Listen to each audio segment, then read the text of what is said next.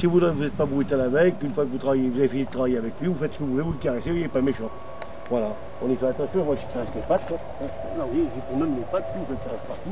Il ne bougera pas, hein, mon petit. Hein, hein mon bébé. C'est vraiment des bonnes bêtes. Le chameau, le dromadaire, on ne le fait pas, par contre.